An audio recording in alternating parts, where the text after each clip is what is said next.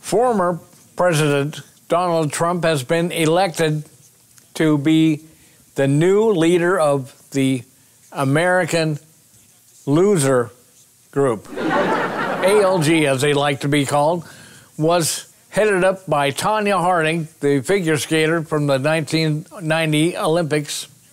She declined our invitation to join us. this is Channel 69 News. I'm Win Some Lose Some.